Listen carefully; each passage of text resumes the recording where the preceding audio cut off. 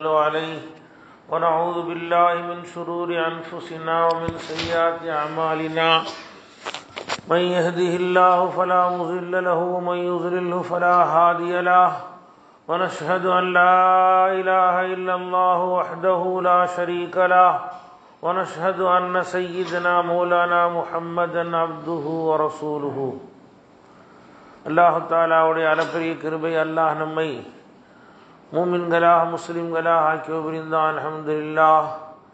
மேலும் ஹபீப் முகமது ரசூலுல்லாஹி ஸல்லல்லாஹு அலைஹி வஸல்லம் அவருடைய அருள்மிகு உம்மத்திலே ஆக்கி புரிந்தான். அல்ஹம்துலில்லாஹ். மேலும் அல்லாஹுடைய பள்ளிவாசலே ஒன்று கூடி அவனை பற்றி கேட்கவும் பேசவும் சஜிதா செய்யவும் அருள்வாளித்தான். அல்ஹம்துலில்லாஹ். அல்லாஹுடைய இல்லத்திலே ஏதிகாஃபுடைய நெய்யத்தில் அமர்ந்து நன்மைகளை பெறக்கூடிய பாக்கியை தந்து புரிவானாக. அல்லாஹுடைய மாபெரும் கிருபையினால் ஹிஜ்ரி ஆயிரத்தி நானூற்றி நாற்பத்தி ஐந்து வருடங்களை கடந்து நாம் ஹிஜ்ரி ஆயிரத்தி நானூற்றி நாற்பத்தி ஆறாம் வருடத்துடைய புத்தாண்டுடைய முஹர்ரம் மாதத்தின் முதல் வாரத்திலே அமர்ந்திருக்கிறோம். நம்முடைய வாழ்நாளிலே ஒரு வயது கடந்து இஸ்லாமிய வயதின்படி நம்முடைய அடுத்த வருடத்திற்கு நாம் சென்றிருக்கிறோம். நபிகள் நாயகம் ரசூலுல்லாஹி சல்லல்லாஹ் அலையுசல்லம் அவர்கள் இந்த உலகத்திலே அறுபத்தி மூணு வருடங்கள் வாழ்ந்தார்கள். ஹிஜிரி வருஷப்படி ஹிஜிரி வருட கணக்குப்படி அறுபத்தி மூணு வருஷம் வாழ்ந்தாங்க சல்லா அலையுசல்லம் ரபியுல் அவல் மாதம் பன்னெண்டாம் பன்னெண்டாம் பிறந்தாங்க. அதே ரபியுல் அவ்வல் மாதம் பன்னெண்டாம் நாள் மறைந்தார்கள். சரியாக அறு சரியாக அறுபத்தி மூணு வருஷம் நபிகள் நாயகம் சல்லா அலி செல்லம் இந்த உலகத்திலே வாழ்ந்திருக்கிறார்கள். ஆனால் கிபி ஆங்கில கணக்குப்படி நபிகள் நாயகம் சல்லா அலி செல்லம் அவர்கள் அறுபத்தி ஒரு வருஷம் தான் வாழ்ந்திருக்கிறாங்க. நபிகள் நாயகம் சல்லா அலி செல்லம் கிபி ஐநூற்றி எழுபதிலே ஏப்ரல் மாதம் இருபதாம் தேதி பெருமானா சல்லா செல்லம் பிறந்தார்கள். கிபி அறுநூத்தி முப்பத்தி ஒன்னுலே அஃபாத் ஆகிவிட்டார்கள். அதாவது ஆங்கில வருடத்திற்கும் ஹிஜிரி வருடத்திற்கும் மத்தியிலே ஹிஜிரி வருடம் முப்ப ஒரு பதினொன்று பதினொன்று நாட்கள் குறைவாக இருப்பதன் காரணமாக முப்பது வருடங்கள் முடிந்து விட்டால் ஒரு வருடம் ஹிஜிரி மாதத்திலே குறைவாக ஆகிவிடும். அப்படி எமிகள் நாயகம் செல்லல்லாஹ் அலைவு செல்லும் அவர்கள் இந்த உலகத்திலே அறுபத்தி ஒரு வருடம் தான் வாழ்ந்திருக்கிறார்கள் நம்முடைய கணக்குப்படி. ஆனால் அந்த அறுபத்தி வருடத்தில் அபிகள் நாயம் செல்லல்லாஹ் அலேஸ்வரம் செய்த சாதனைகள் எவ்வளோ சாதனைகள்? எத்தனை லட்சக்கணக்கான பேரை இஸ்லாம் ஆக்கினார்கள்? எத்தனை நாடுகளை நபிகள் நாயகம் செல்லல்லாஹ் அலேஸ்வரம் இஸ்லாமிய மயமாக ஆக்கினார்கள் என்று பார்க்கும் பொழுது நாம் எல்லாம் அதுபோன்று நாமளும் இஸ்லாத்திற்காக வேண்டி தியாகம் செய்ய வேண்டும் என்ற ஆசை கொள்ள கடமைப்பட்டிருக்கிறோம் இந்த முஹர்ரம் மாதத்திலே மூன்று விஷயங்களை நாம் அதிகமாக இந்த இந்த முதல் வாரத்திலே ஞாபகம் செய்ய வேண்டும். முதலாவதாக இந்த ஹிஜ்ரி என்ற பெயர் ஏன் வந்தது?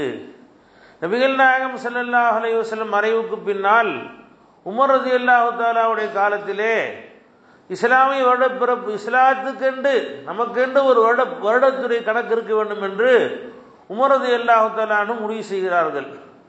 காரணம் சஹாபாக்கள் ஆளுநர்களுக்கெல்லாம் கடிதம் எழுதும் பொழுது அந்த கடிதம் எந்த மாதம் என்று சரியா சரியாமல் சஹாபாக்கள் ஒரு ஒரு கடும் சில கடிதங்கள் லேட்டாக வருகிறது. அதன் காரணமாக சில குழப்பம் ஏற்பட்டதன் காரணமாக காரணமாக உமரது அல்லாஹாலான் இஸ்லாமிய வருடத்தை துவக்க ஆசைப்படுகிறார்கள். எப்பருந்து துவக்கலான்னு எப்பருந்து அதை ஆரம்ப வைக்கலான்னு சொல்லி சஹாபாக்கள்லாம் மஷோரா செய்கிறாங்க இப்போ சில சஹாபாக்கள் சொல்கிறாங்க நபிசல்லாசலம் பிறந்த ஆண்டு வைக்கலான்னு சொல்கிறாங்க சில சஹாபாக்கள் சொல்கிறாங்க ரசூசல்லாசம் மறைந்த ஆண்டு வைக்கலான்னு சொல்கிறாங்க அப்போ அலிரதி அல்லாஹலான் அவர்கள் தான் மஷோரா கொடுக்கிறார்கள். இந்த இஸ்லாத்திற்கு மாபெரும் வெற்றி ஏற்பட்டது ஒரு புத்துணர்ச்சி ஏற்பட்டு ஹிஜ்ரத்துக்கு பின்னால் தான் ஹிஜ்ரத்துக்கு நபிகள் நாயம் சல்லா அலேசன் அவர்கள் செல்லும் வரை இஸ்லாம் மக்காவுடைய மக்காவுடைய சின்ன வட்டத்திலே சில சஹாபாக்கள் இஸ்லாமாக இருந்தார்கள் கஷ்டத்திலே சிரமத்தில் இருந்தது. எப்பொழுது சஹாபாக்கள் மக்காவிலும் மதீனாவுக்கு புலம்பெயர்ந்தார்களோ ஹிஜரத்து செய்தார்களோ அதற்கு பின்னால் தான் இஸ்லாத்திற்கு மாபெரும் வெற்றிகள் கிடைக்க ஆரம்பித்தது. பத்ரு உஹது ஹந்தக் போன்ற போர்களிலே மாபெரும் வெற்றிகள் கிடைத்தன. பல- பல நாடுகளுக்கு இஸ்லாமிய நாடுகளுக்கு பெருமானா செல்லாசிரம் கடிதம் எழுதினார்கள். பல இஸ்லாமிய நாடுகளிலிருந்து கூட்டம் கூட்டமாக இஸ்லாத்திற்கு வர ஆரம்பித்தார்கள். இஸ்லாம் மிக பல்வே மிக மிக வேகமாகவும் மிக புத்துணர்ச்சி கொண்டும் பரவியது. ஹிஜரத்துக்கு பின்னால் தான் எனவே ஹிஜரத்தை தான் நாம் நாம் இஸ்லாமிய புத்தாண்டுடைய முதல் வைக்க வேண்டும் என்று அலி ரதி அல்லாஹாலான ஆலோசனைப்படி உமர் ரதி அல்லாஹாலான ஹிஜரத்தை இந்த இஸ்லாமிய புத்தாண்டுடைய முதல் வருடமாக அவர்கள் கணித்தார்கள். ஹிஜரத்திலிருந்து ஹிஜ்ரி ஹிஜ்ரி ஒன்று ஹிஜ்ரி ரெண்டு என்று ஹிஜரத்துக்கு போனதிலிருந்து வருடங்களை கணக்கிட ஆரம்பித்தார்கள். ஹிஜரத் என்பது ஒரு சாதாரணமான ஒரு பயணம் அல்ல.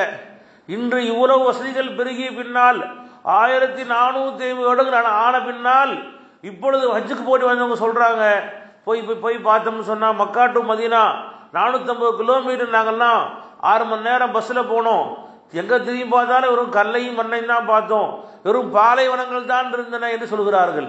இவ்வளவு வசதிகள் வந்த பின்னால் கூட வெறும் கற்களும் முற்களும் இருக்கக்கூடிய பாலைவனமாக இருந்தது என்று சொன்னால் ஆயிரத்தி நானூறு வருடத்திற்கு முன்னால் எப்படி இருந்திருக்கும்? அப்படிப்பட்ட அந்த ஒரு பாலைவனத்திலே நானூத்தி ஐம்பது கிலோமீட்டர்கள் நபிகள் நாயகம் செல்லல்லாஹ் செல்லும் அவர்களும் சஹாபாக்களும் மக்காவை விட்டு மதீனாவிற்கு அவர்கள் புலம்பெயர்ந்து சென்றார் என்று சொன்னால் ஒரு சாதாரண பயணம் அல்ல.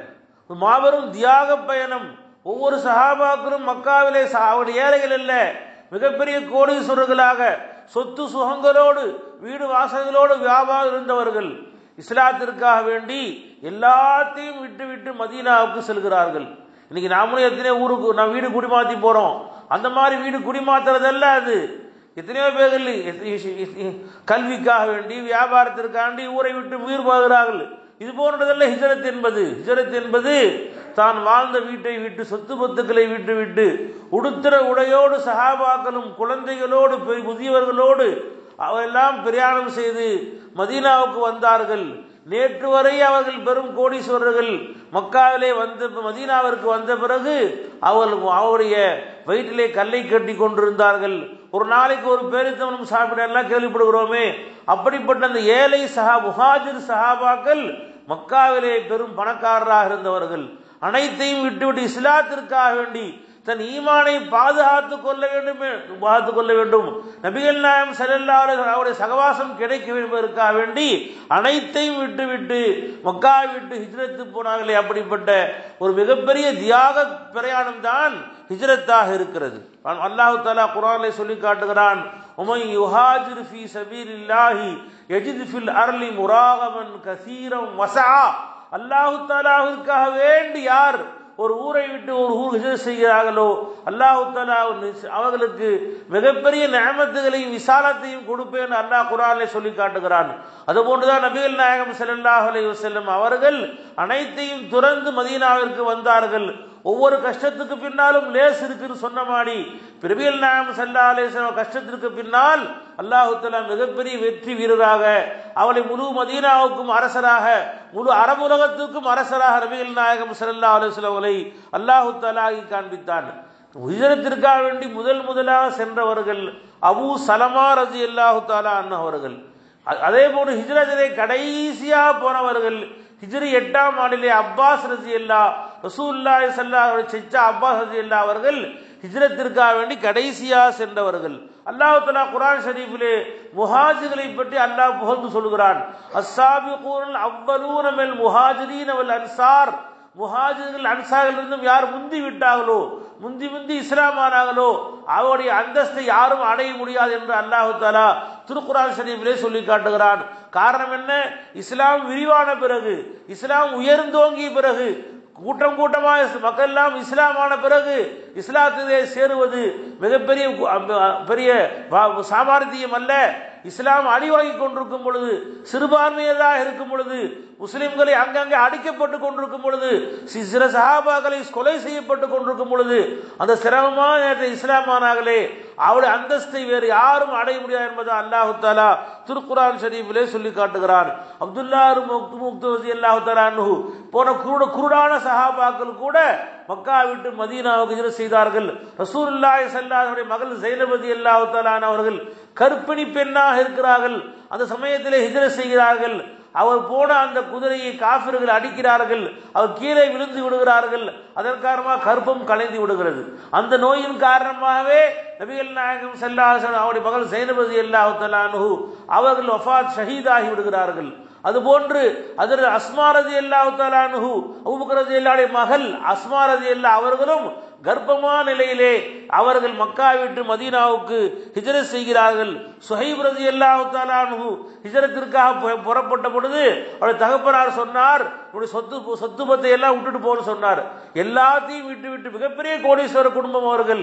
எல்லாத்தையும் விட்டு விட்டு உடுத்திர உடையோடு மக்கா விட்டு மதீனாவுக்கு ஹிஜரத் செய்தார்கள். அதில் சுஹைப் ரதி அல்லாஹு அவர்கள். இது போன்று சஹாபாக்களுடைய மாபெரும் ஒரு அர்ப்பணிப்பு ஒரு தியாகத்திற்கு பின்னால் தான் ஹிஜ்ரத் என்ற மாபெரும் அந்த ஒரு சகாப்தம் நடைபெற்றது. நபிகள் நாயகம் சல்லா அலுவலாம் அவர்கள் எப்படியாவது கொலை செய்ய வேண்டும் என்று மக்காவுடைய காஃபெல்லாம் முடிவு பண்றாங்க. முடிவு பண்ணி நாம் ஒருத்தராக போய் கொலை பண்ணால் குறைசிகள் நம்மளை பகச்சுக்குவாங்க.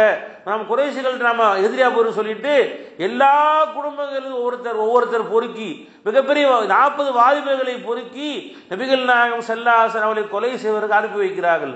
பெருமானா செல்லா இரவிலே படுத்திருக்கிறார்கள். நாற்பது வாலிபர்கள் பெருமானா வீட்டை சுற்றி அம நின்று கொண்டிருக்கிறார்கள். நடுநிசையிலே வந்து பெருமானாரை கொலை செய்ய காத்திருக்கிறார்கள். நபிகள் நாயகம் செல்லல்லா அலைஹி செல்லவர்கள் தான் படுத்திருந்த அந்த பெட்டிலே படுக்கையிலே அதற்கு அலி ரசி அல்லாஹு படுக்க வைத்து விட்டு நபிகள் நாயகம் செல்லல்லாஹ் அலைஹி செல்லும் அவர்கள் ஒரு மண்ணை எடுத்து அவர்கள் ஊதி ஊதினார்கள்.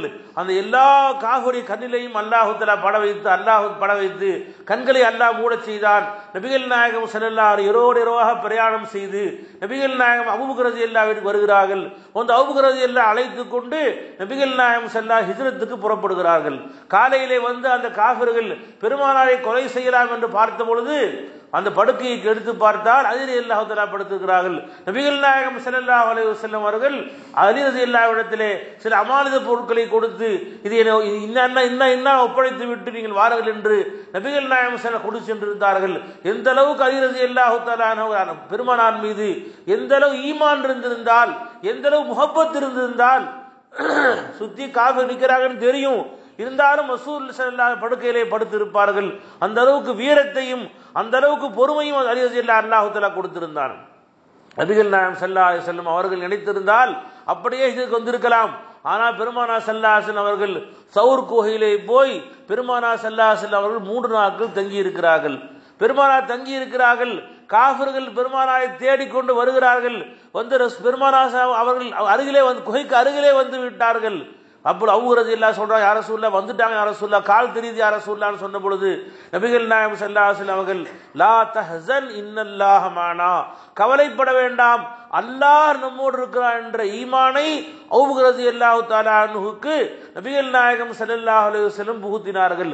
அந்த ஈமான் காரணமா அல்லாஹு தாலா அல்லாஹ் நம்மோடு இருக்கான உணர்வின் காரணமா அல்லாஹு தாலா ஒரு சிலந்தி பூச்சியுடைய வலையை கொண்டு ஒட்டட பூச்சியை கொண்டு அல்லாஹு தாலா பாதுகாத்தான். அந்த அந்த சிலையை அல்லாஹ் ஒட்டட பூச்சியை அல்ல மறைத்து கொண்டான். இதில் அவர் இருக்க வாய்ப்பில்லை என்று சொல்லி அந்த காஃபர்கள் அந்த குகையை விட்டு சென்று விட்டார்கள். அல்லாஹு தாலா நாடினால் உன்னை பெரிய பெரிய வஸ்துக்களை கொண்டு பாதுகாக்க வேண்டும் அவசியமில்லை அல்லாஹ் ஒட்டடை போச்சு போன சாதாரண வஸ்துவை கொண்டு கூட அல்லாஹ் உன்னை பாதுகாக்கலாம் என்பதற்காக வேண்டித்தான். அல்லாஹுத்தலா அதை கொண்டு நபிகள் நாயகம் செல்லாசன் அவர்களையும் சபுபுக்கரசு அல்லாஹு தலா அவரையும் அல்லாஹு தலா பாதுகாத்தார். நபிகள் நாயகம் செல்லா நினைத்திருந்தால் இப்படி நாற்பது காசுகளிடத்திலே மண்ணை தூக்கி எறிந்தால் அது போன்று பெருமானா செல்லா தூக்கி எறிந்திருக்கலாம். ஆனால் இந்த உம்மத்திற்கு ஒரு படிப்பனைக்காக வேண்டி உனக்கும் ஏதாவது சிரமங்கள் ஏற்படலாம் உனக்கும் ஏதாவது கஷ்டங்கள் ஏற்படலாம் அதுபோ அந்த சமயங்களிலே நீ இவ்வாறு மறைவது தப்பல்ல. இவ்வாறு திட்டமிட வேண்டும் என்று காட்டுவதற்காக வேண்டி நமக்கு இஸ்லாமிய நடைமுறையை காட்டுவதற்காக வேண்டி நபிகள் நாயகம் செல்லல்லாஹ் அலைஹி வஸல்லம் அவர்கள் சவுர் கோயிலே மூன்று நாட்கள் தங்கி இருந்தார்கள் பின் பெருமானா செல்லல்லா அலைஹி நடு பாலைவனத்திலே முற்களுக்கும் கற்களுக்கும் மத்தியிலே பிரயாணம் செய்து நபிகள் நாயகம் செல்லா அலைஹி வஸல்லம் அவர்கள் ஹிஜரத்துக்கு சென்று வந்தார்கள். ஹிஜரத்திலே பெருமானா ஸல்லல்லாஹு அலைஹி அவர்கள் சென்று அந்த அன்சாரி அந்த முஹாஜிர் மக்களை அந்த அன்சாரி சஹாபாக்கள் வரவேற்றார்கள். அவர்கள் எல்லாம் தன்னுடைய வீட்டிலே ஒரு பாதியை கொடுத்தார்கள். தன் சொத்திலே பாதியை கொடுத்தார்கள். தோற்றத்திலே பாதியை கொடுத்தார்கள். அல்லாஹ் குரான்ல அவளை போல சொல்கிறான் வலின் ஆவு வலசரு வஹாஜரஹும் ஃபீ சபீலில்லா அல்லாஹ்வுடைய பாதையிலே ஹிஜ்ரத் செஞ்சு வந்தார்களே அதை அரவணைத்தார்களே. அவரை பற்றி அல்லாஹு தாலா திருக்குரான் ஷரீஃபிலே புகழ்ந்து பேசு புகழ்ந்து பேசுகிறான். ஜுந்து பிரதி அல்லாஹு தாலா ஒரு சஹாபி நூத்தி இருபது வயசு அவருக்கு. வயசான வயோதிகர் அவர். அவர் ஹிஜ்ரத்திற்காக புறப்படுகிறார். அவருடைய பிள்ளைகள் சொல்கிறார்கள் நீங்கள் வயசான கால ஹிஜ்ரத் தேவை நீங்கள் வர தேவையில்லை. நீங்கள் வீட்டில் இறங்கி வாப்பான்னு சொல்ற இல்லை இல்லை. பெருமானா செல்ல அவர்கள் அவர்கள் பதி மக்கா விட்டு போன பிறகு எனக்கு இந்த மக்காவிலே வசி வசிப்பு எனக்கு எனக்கு பிரியம் இல்லை என்னையும் மதீனாவுக்கு கூட்டு போக என்பதாக ஜுந்து பிரதி அல்லாஹு வேண்டுகிறார்கள். கடைசியாக பிள்ளை வயதான காலம் அடக்க முடியவில்லை. அவளை ஒரு பல்லக்கிலே படுக்க வைத்து அவர்களை ஒரு பல்லக்கிலே படுக்க வைத்து அவருடைய பிள்ளைகள் சுமந்து கொண்டே மதீனாவுக்கு வருகிறார்கள். வருகிற வழியிலேயே ஜுந்து பிரதி அல்லாஹால் அஃபாத் ஆகி விடுகிறார்கள். அவர் அடக்கம் செய்து விடுகிறார்கள். அப்பொழுது மக்கா மக்காவாசி மதினாவாசிகளே சில சஹாபாக்கள் பேசிக் கொள்கிறார்கள். அவர் மட்டும் மதீனாவுக்கு வந்திருந்தால் ஹிஜரத்துடைய பாக்கியத்தை பெற்றிருப்பார். ஹிஜரத் செஞ்சு வந்து விட்டா எல்லா பாவத்தையும் அல்லாஹ் மன்னிச்சிடுறான். அப்ப பெரிய பாக்கியம் கிடைத்திருக்கும். வர்ற வழியிலேயே மூத்தாகி விட்டாரே என்று சஹாபாக்கள்லாம் பரிதாபமாக பேசிக் கொள்கிறார்கள். அப்போ அல்லாஹ் ஆயத்தறிக்கை வைத்திருக்கிறான். உமை யஹ்ருஜ் பைதிஹி முஹாஜன் இல்லாஹி வர சூலிஹி சும்ம யுத்ரிகுஹுல் மௌத்து ஃபகத் வகா அஜ்ருஹு அல்லாவுடைய பாதை பாதையிலே யார் புறப்பட்டு விடுகிறாரோ அவர் புறப்பட்டு பாதி வரியிலே வரும்பொழுது அவர் அவருக்கு மௌத்து வந்து விடுமை என்றால் அல்லாஹு தாலாவுடைய கூலியை பரிபூர்ணமாக கொடுப்பான் என்பது அல்லாஹு தாலா திருக்குரான் ஷரீஃபிலே ஆயத்தறிக்கி வைக்கிறார். ஒரு நல்ல காரியத்திற்காக வேண்டியோ அது ஹிஜரத்திற்காக வேண்டியோ அது அல்லாவுடைய பாதையிலே செல்வதற்காக வேண்டியோ ஒரு புறப்பட்டு விட்டார். அவர் புறப்பட்டு விட்டாலே அவருடைய கூலி அல்லாஹ் பரிபூர்ணமாக கொடுக்கிறான். அவர் சென்று செய்வதற்கு முன்னால் ஏதோ உடல்நிலை சரியில்லாகி விட்டது அது மரணமாகி விட்டால் ஹஜ்ஜுக்கு புறப்பட்டு போகிறார் வழியிலே வர்றவர்கள் சொன்னால் கூட அல்லாஹு தாலா அவருடைய ஹஜ்ஜுடைய முழு நன்மையும் அல்லாஹு தாலா கொடுத்துக்கிறான் அவர் புறப்பட்டு விட்டாலே அல்லாஹு தாலா அவருடைய கூலியை அல்லாஹு தாலா பரிபூர்ணமாக கொடுப்பது அல்லாஹு தாலா திருக்குரான் ஷரீஃபிலே அல்லாஹ் ஆயத்தறிக்கி வைக்கிறான். ஆக நபிகள் நாயகம் செல்லல்லாஹ் அலைவசல்லம் அவர்கள் அந்த ஹிஜரத்திலே போ- நம்ம நமக்கு மிகப்பெரிய படிப்பினையை நமக்கு கொண்டு தந்திருக்கிறார்கள். அது எல்லாரும் மறைந்து மறைந்து ஹஜ்ஜுக்கு போனாங்க. எல்லா ஹிஜரத்துக்கு போனாங்க. நபி ஹசரத் உமர் ரசி அல்லாஹு தாலான் அவர்கள் மிகப்பெரிய வீரர் அவர்கள் அவர்கள் மட்டும் மக்கா காபத்துல்லாவிலே சென்று பப்ரிக்கா அவர்கள் சவாபு செய்தார்கள். செய்துவிட்டு சொன்னால் வாழை தோ தோலை தொங்க போட்டுக்கொண்டு இதோ நான் மக்கா விட்டு மதிய ஹிஜரத்துக்கு போகிறேன் யாருடைய பிள்ளை அனாதையாக வேண்டுமோ யாருடைய மனைவி விதவையாக வேண்டுமோ என்னை தடுத்து பார்த்து கொள்ளட்டும் என்று சொல்லி தைரியமாக சொல்லிவிட்டு அவர்கள் மட்டும் பகிரங்கமாக ஹஜரத்துக்கு வந்தார்கள். ஆனால் அவளை யாராலும் தடுக்க முடியவில்லை. உமர் ரசி அல்லாஹு தாலான் அவர்கள் அவர்கள் ஷஹீதான நாள் இது முஹர்ரம் மாதம் தான் இந்த முஹர்ரம் மாத முதலாவது வாரத்தில் தான் உமர் ரசி அல்லாஹு தாலான் அவர்கள் ஷஹீதாக்கப்பட்டார்கள். உமர் ரசி அவர்கள் யார்? அவர் அவர்கள் வருவதற்கு முன்னால் வரை இஸ்லாத்திலே சஹாபாக்கெல்லாம் காபத்துல்லாவிலே சென்று மறைந்து மறைந்து தொழுவார்கள். இது அல்லாஹுத்தலான் அவர்கள் நபிசல்லா அலைஹி இஸ்லாத்தை பரப்ப ஆரம்பித்து ஆறு வருடங்களுக்கு பின்னால் தான் இஸ்லாத்துக்கு வருகிறார்கள். ஆறு வருடங்கள் வரை முஸ்லிம்கள் எல்லாம் மறைந்து மறைந்து தொழுது கொண்டிருக்கிறார்கள். காபத்துல்லாவிலே வந்து அவங்க பப்ளிக்காக தொழுதால் அடி உதவி விழுகிறது. அவர்கள் அடிக்கப்படுகிறார்கள்.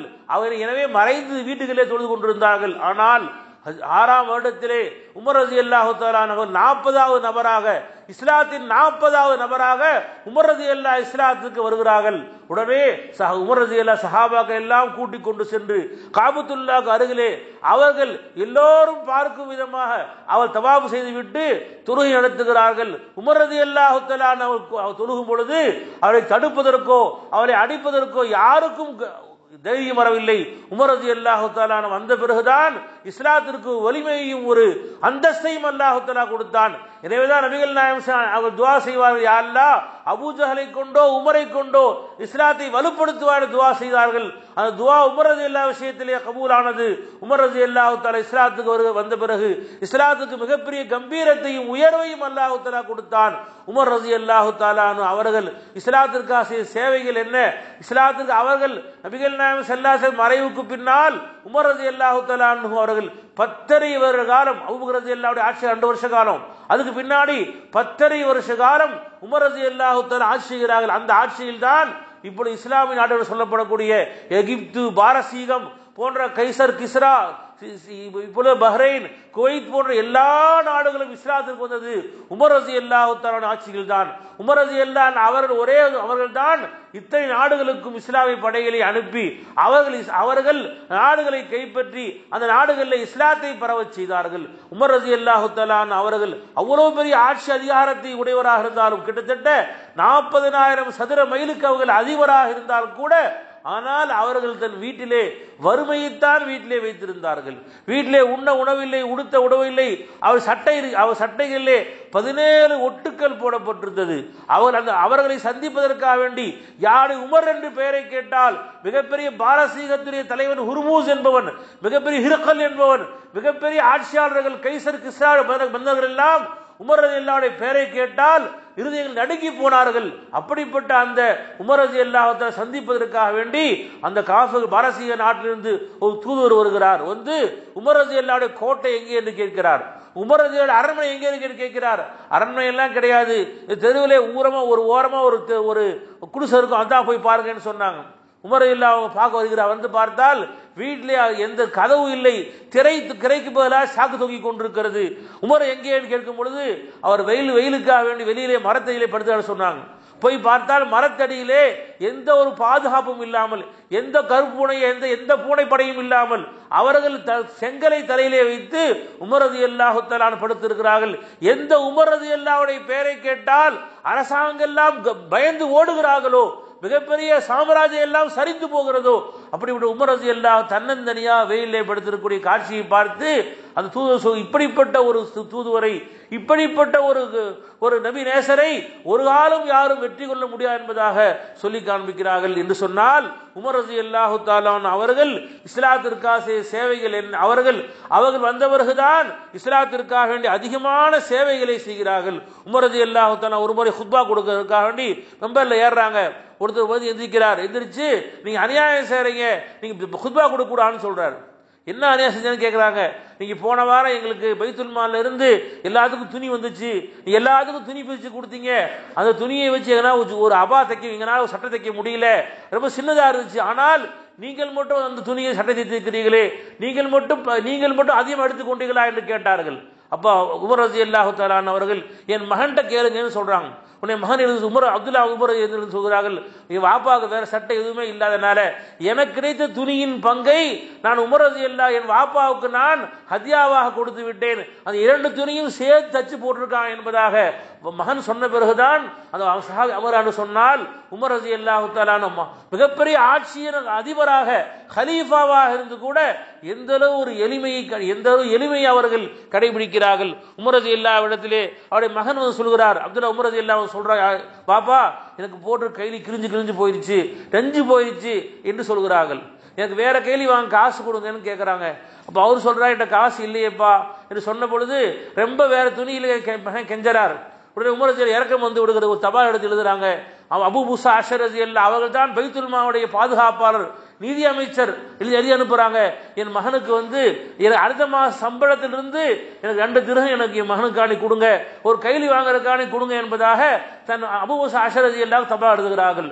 அந்த மகன் அந்த தபாலை வாங்கி சந்தோஷம் போறார். நம்ம கைலி வாங்க போறோம்னு சொல்லி. கொண்டு போய் அபூஷா அபுபூசா அஷரதி எல்லாம் சாவியில் கொடுக்குறாங்க. உமரதி எல்லாம் அடுத்த மாதம் சம்பளத்திலிருந்து ரெண்டு தடவை வாங்கி சொன்னாங்கன்னு. தபாலை வாங்கி பார்த்துட்டு அபுபூசா அஷரதி எல்லாம் எழுதுகிறாங்க அந்த தபாலை திருப்பி அந்த எழுதுறாங்க. அடுத்த மாதம் வரைக்கும் நீங்க ஹயாத்தா இருப்பீங்க. எனக்கு கேரண்டி கொடுத்தால் நான் அடுத்த மாதம் சம்பளம் தர்றேன் என்பதாக அபுமுசா எழுதி எழுதி கொடுக்குறார்கள். கொன்ன வாப்பாட கொடுக்குறாங்க.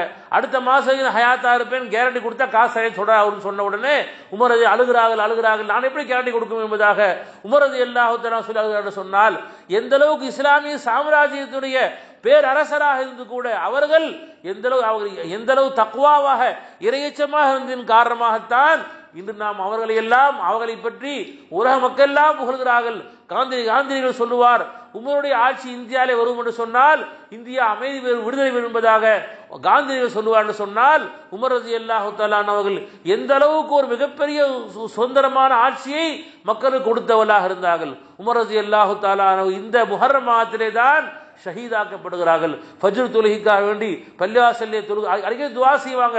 யாரெல்லாம் என்னை ஷஹீதா மூத்தாக்கி அல்லா. என்னை வீட்டிலே ஆடு மாடுகளை போண்டு வீட்டில் மூத்தாக்காத ரப்பே. என்னை ஷஹீதா மூத்தாக்கு. அதுவும் ரசூல்லாட ஊர்ல வச்சு மூத்தாக்குன்னு உமர் இல்லா துவா செய்வாங்க.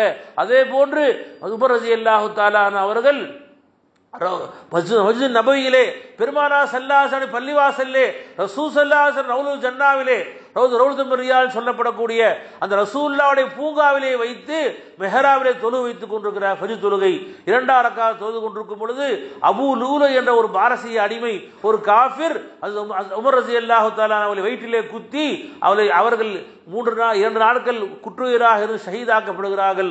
அது உமர் ரசி அல்லாஹு தாலான் அவர்கள் அவ்வாறு ஷஹீதாக்கப்பட்ட நாள் இந்த முஹர்ரம் மாதிரி மாதமாகத்தான் இருக்கிறது. பண்பர்களே உமர் ரசி அல்லா கடைசி நேரத்திலே உயிர் பெறும் பிரியும் தருவாயிலே தன் மகன் அப்துல்லா உமரதை சொல்கிறார்கள் முதல்ல உமரஜி அல்லா தன் தந்தையுடைய தலையை தன் மடியிலே வைத்திருக்கிறார்கள். உமரஜி அல்லா சொல்றாங்க என் தலையை கீழே வச்சு மல்ல போட்டிருப்பா. மல்ல போடு. என் தலை அப்படியே மல்ல உரக்கூடிய காட்சியை பார்த்தாவது என் ரப்பு என்னை மன்னிக்க மாட்டானா? என்பதாக உமரஜி அல்லாஹு சொல்கிறார்கள். இவ்வளவு பெரிய தக்குவாவுக்கு சொந்தக்காரராக இருந்து கூட கடைசி நேரத்திலே என் மண் என்னுடைய தலை மண்ணிலே உருளட்டும் அதை பார்த்து என்னை அல்லாஹ் என்னை மன்னிக்கணும்னு சொன்னான்னு சொன்னால் உமரது ரதி அல்லாஹு தாலானுடைய தக்குவா எந்த அளவு உயர்ந்த தக்குவாக இருக்கு நண்பர்களே. ஆ இந்த மாதத்திலே நாம் இந்த இந்த வருட ஹிஜரத் ஹிஜரத்தை நினைவு கூற வேண்டும். அதுபோன்று உமரது ரதி அல்லாஹு தாலான ஷஹாத்தை நினைவு கூற வேண்டும். மூன்றாவதாக இந்த இன்னும் ஒரு சில நாட்களிலே ஆஷூராவின் நாள் வருகிறது. முஹர்ரம் மாதிரி பத்தாம் நாள் வருகிறது. இது ஆஷ்வர் நாள் இருக்கிறவர்களே இஸ்லா இஸ்லாத்திலே மிக சிறப்பான நாளாக இருக்கிறது. இதில் ஒன்று சொன்னால் அல்லாஹுத்தலா இந்த ஆசுர நாளிலே அல்லாஹுத்தலா பத்து விஷயத்தை நிகழ்த்தின அல்லாஹுத்தலா ஆதம் அலி பாவத்தை அல்லாஹுத்தலா மன்னிச்சான். யூனுஸ் அலி இஸ்லாம் அவர்களை அல்லாஹ் மீன் வைத்திருந்து அல்லாஹுத்தலா வெளியாக்கினான். இப்ராஹிம் அலி இஸ்லாம் நெருப்பு கொடுத்து அல்லாஹுத்தலா பாதுகாத்தான். மூசா அலி இஸ்லாம் அவர்களை அல்லாஹு தலா ஃபிரௌனுடைய படையிலிருந்து பாதுகாத்து ஃபிரௌனுடைய படை அல்லாஹ் நெயில் நதியிலே மூழ்கடித்து மூசா அலி இஸ்லாம் அவரை அல்லாஹு தலா பாதுகாத்தார். ஐயூப் அலி இஸ்லாம் ஏற்பட்ட நோய்களை அல்லாஹு தலா ஷிஃபாவாக்கி அல்லாஹு தலா அவர்களுக்கு பரிபூர்ண ஷிஃபாவை அல்லாஹு தலா கொடுத்தான். அது தாவூத் அலி இஸ்லாம் அவருடைய குற்றங்களை தௌபாவை அல்லாஹ் ஏற்றுக்கொண்டான். அது ஈசா அலை இஸ்லாமலை அவர்களை காஃபிர்கள் துரத்தி வரும் பொழுது ஈசா அலை இஸ்லாமலை அவரை அல்லாஹு தாலா வானிலே அல்லாஹு தலா உயர்த்தி உயர்த்தி அல்லாஹு தலா அவர்களை பாதுகாத்தான்.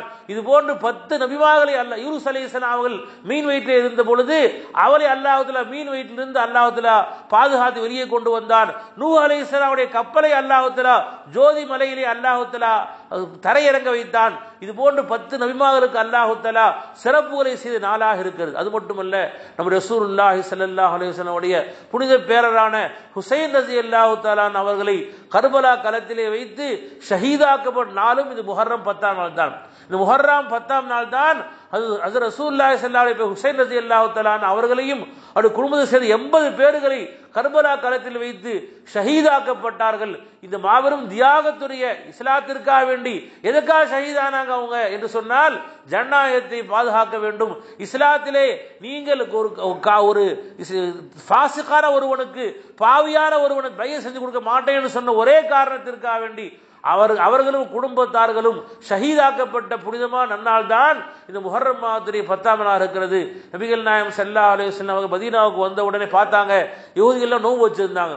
ஏன் நோன்பு வச்சு பெருமாள் கேட்டாங்க. யகுதிகள் சொன்னாங்க இந்த நாளில் தான் மூசா அலி இஸ்லாத்தை அல்லாஹ் பாதுகாத்தா அது நன்றி கடனா நோன்பு வச்சிருக்கோம்னு சொன்னாங்க. பரமிசல்லா அலி அவர்கள் மூசா அலி விஷயத்தில் உங்களை விட நாங்கள் தான் மிகவும் தகுதி பெற்றோம் என்று சொல்லி நபிகள் நாயம் செல்ல நோன்பு வச்சாங்க. அது மட்டுமல்ல யகுதிகளுக்கு மாறு செய்வதற்காக வேண்டி அவங்க ஒரு நோம்பு வைக்கிறாங்க இரண்டு நோன்பு வைக்கிறது செல்லாத சொன்னாங்க. எனவேதான் முஹர்ரம் மாதிரிய பத்தாம் நாள் வரக்கூடிய புதன்கிழமை நோம்பு வைக்கணும். அந்த ஒரு நாள் கூட வைக்கக்கூடாது. ஒன்று வச்சா முஹர்ரம் ஒம்பது பத்து அதாவது செவ்வாய் புதன் நோன்பு வைக்கணும் அல்லது புதன் வியாழன் நோன்பு வைக்கணும். செவ்வாய் புதன் நோன்பு வைக்கணும் முஹர்ரம் ஒம்பது பத்து அல்லது பத்து பதினொன்று அதாவது புதன் வியாழன் நோன்பு இரண்டாம் நோன்பு வைக்கிறது சுண்ணத்தாக இருக்கிறது. நபிகள் ரம்ஜான் நோன்பு கடமையாக கடமையாக முன்னால் இந்த முஹர்ரம் மாதம் நோன்பு தான் கடமையாக ஃபர்லா இருந்துச்சு. ரம்ஜான் மாதத்தை அல்லாஹத்தில் ஃபர்லாக்கி பிறகு இந்த மஹர் முஹர்ரம் மாத நோவு சுண்ணத்தாக்கப்பட்டு விட்டது. எனவே முஹர்ரம் மாதை சுண்ணத்தான் நோவு வைக்கிறேன்னு சொல்லி நோவு நீத்து வைக்கணும் நபிகள் நாயம் சொல்லாங்க சொன்னாங்க யார் முஹர்ரம் மாதை பத்தா நோவு வைக்கிறாரோ யுகஃபிரு சனத்தல் மாதியா. அல்லாஹத்தில் சென்ற ஒரு ஒரு இடத்தில் செய்த எல்லா பாவங்களையும் மன்னிப்பதாக நபிகள் நாயம் செல்லா சொல்லியிருக்கிறார்கள். எனவே அந்த நாளிலே நாம் நோன்பு வைத்து அல்லாஹு துவா செய்ய வேண்டும். யா அல்லா எப்படி இந்த முஹர்ரம் மாதம் பத்தாம் நாளிலே நீ ஆதம் அலை சாத பாவத்தை மன்னிச்சாயோ? அவன் எங்க பாவத்தை நீ மன்னிச்சரியா அல்லா இப்ராஹிம் அலைஹிஸ்ஸலாம் நெருப்புகளை பாதுகாத்த மாதிரி எங்களையும் அல்லா இந்த உலகத்துடைய கஷ்டங்கள் பாதுகாத்துறியா அல்லா. ஹசரத் யூனுஸ் அலைஹிஸ்ஸலாத்தை இருளிலிருந்து இருந்து பாதுகாத்த மாதிரி அல்ல. எங்களையும் உள்ள இருள்களை எல்லாம் அகற்றி பாதுகாத்துறியா அல்லா.